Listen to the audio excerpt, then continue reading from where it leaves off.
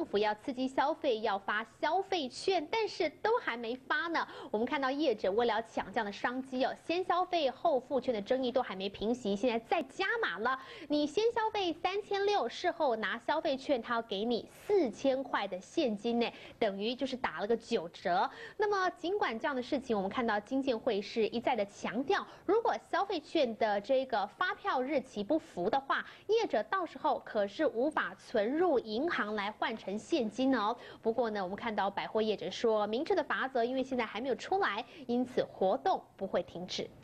一个发票，哦，那以及三千六百元的一个消费券，哦，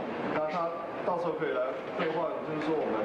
四千块的一个现金，好，就前面就。主管特别在晨会精神喊话，因为消费券商机无限大，在保护业者先推出先消费后付券活动后，再度加码，让消费者可以先消费三千六百元，事后可以用消费券换回四千块现金。一波活动当中，事实上，呃，询问度呢，大概比如说占了大概三成左右，那表示说，其实这样的活动还是有真的刺激到呃民众的消费意愿。为其写本力拼消费券市场，因为光是第一波业绩就成长三成，让业者再推出第二波。但先消费后付券的争议还没平息，业者又在十二月推出加码活动，让主管机关再提出警告。消费后付券啊，这个商家他是没有办法兑换到钱的。但商家如果拿到这个消费券，他愿意发给他的员工做年终奖金，让他们再消费出去，我是没有问题的。